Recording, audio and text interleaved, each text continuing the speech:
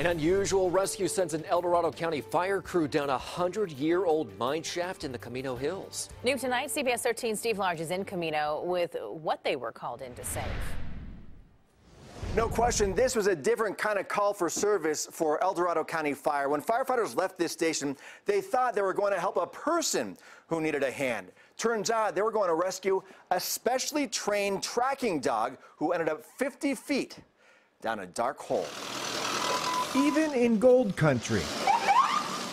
This was a first. Not your typical call. In these mountains, a U.S. Department of Agriculture tracker looking for a mountain lion reportedly attacking livestock lost one of his tracking dogs, then discovered it using a GPS collar underground in a hole down this mine shaft. Yeah, GPS attached to it. He got pretty close to the hole, heard some whimpering, and then kind of turned around and noticed that there was a huge hole behind him. I'm assuming the dog picked up a scent, and as it was going, it just fell right through that hole. The mine shaft was 50 feet deep. They're there because uh, this was gold country, so they were always out here mining. The dog was down at the bottom. Her name? Penny. Photos show firefighter Stephen Ramirez deep inside the mine shaft retrieving Penny.